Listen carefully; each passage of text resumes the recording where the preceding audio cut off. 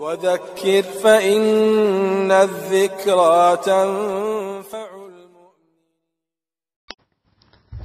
بسم الله الرحمن الرحيم. الحمد لله رب العالمين والصلاة والسلام على أشرف الأنبياء والمرسلين نبينا محمد وعلى آله وصحبه أجمعين. أما بعد Şeyhlərimizdən olan Şeyh Süleyman Ruhi ilə Hafizahullah dərslərin birində belə tövsiyə etmişdir. Muhammed sallallahu aleyhi və səlləmə oxşayan insan ləzzət içərisindədir. Allaha and olsun ki, o ləzzət içərisindədir. Ey qardaşlarım, hansı məqam, hansı məqam sənə burada hər hansı bir əməldə Muhammed sallallahu aleyhi və səlləmə oxşamaqdan daha əzəmətli ola bilər?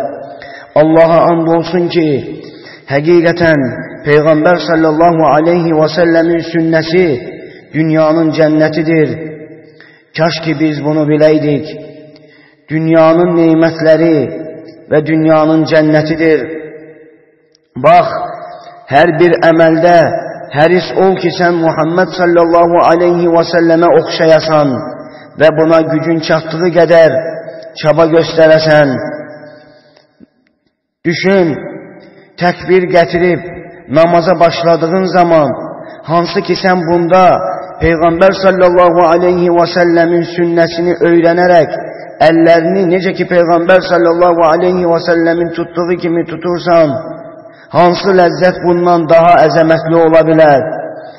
Və namazı Peyğəmbər sallallahu aleyhi və səlləmin qıldığı kimi, onun buyurduğu kimi qılırsan, və bunu hiss edirsən və Allahu Teala'ya Peyğəmbər sallallahu aleyhi və səlləmin sünnəsinə əməl edərək yaxınlaşırsan, həmçinin həcci götürək, həcc ziyarətində olduğun zaman, həccini əda etdiyin zaman, öyrənib, axtarıb, soruşub, soruşdurursan, araşdırmağın ki, Peyğəmbər sallallahu aleyhi və səlləm həccini necə etmişdir, həcdə müəyyən duran yerlərdə nə söyləmişdir? Mən də onun həccini, onun etdiyi kimi həccimi yerinə yetirim. Məsələn, Peyğəmbər sallallahu aleyhi və səlləm hər hansı bir durduğu yerdə hansı zikri etmişdir, mən o zikri edim. Hansı duanı etmişdir, mən o duanı edim. Və başqa əməllərimizdə olsun. Hansı ləzzət Peyğəmbər sallallahu aleyhi və səlləmə oxşamağa çalışmaqdan daha əzəmətli ola bilər. Peyğəmbər sallallahu aleyhi və səlləmə oxşamaq dünyanın cənnətidir. Qəlbin ləzzəti ruhun qidasıdır.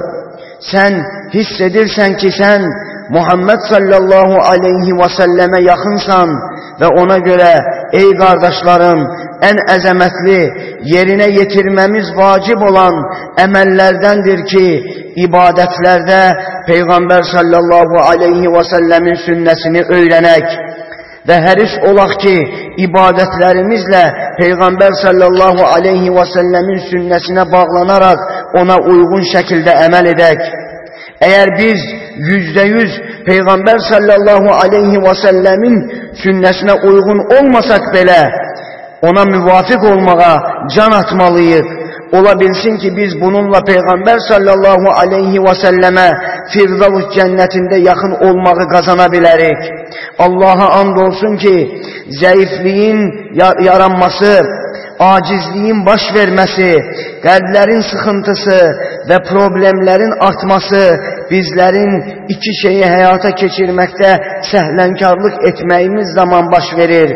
Birinci, tovhidi həyata keçirməyimiz ki, tovhiddə naqislik etməyimiz, hansı ki o Rəbbimizin haqqıdır və həmçinin ittibada zəifliyimiz ki, o da Peyğəmbərimiz Muhammed sallallahu aleyhi və səlləmin haqqıdır. İbadətlərdə zəiflədik, dinimizdə zəiflədik, Belə olduğu təqdirdə nəticəsi nə oldu? Çətinliklər çoxaldı, problemlər artdı.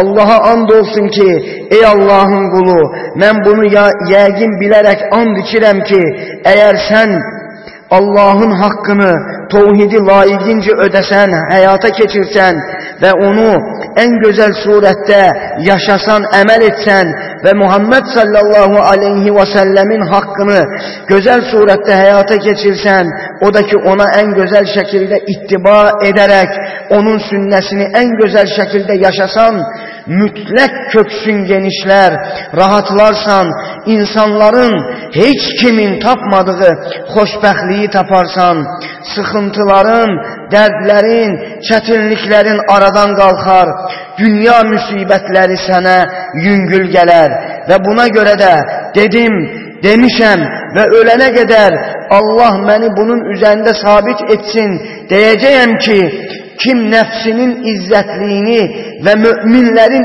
izzətliyini istəyirsə, onda qoy Allahın haqqı olan tohidi həyata keçirərək, onu öyrənərək, əməl edərək, onu yaysın və həmçinin Peyğəmbər sallallahu aleyhi və səlləmin sünnəsini həyata keçirsin, onu öyrənsin və onu ona əməl etsin və onu gözəl surətdə yaysın. Kim bunu həyata keçirməyə çalışarsa, qoy onda səbirli olsun. Bütün buna müvəffəq olan adama ahirətdən öncə bu dünyada müjdələr olsun.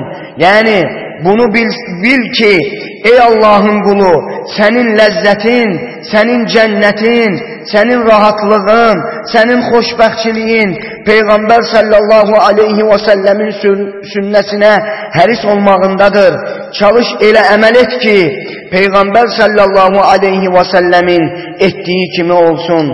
Vallahu Teala a'la və a'ləm və sallallahu ala nəbiyyinə və səlləm.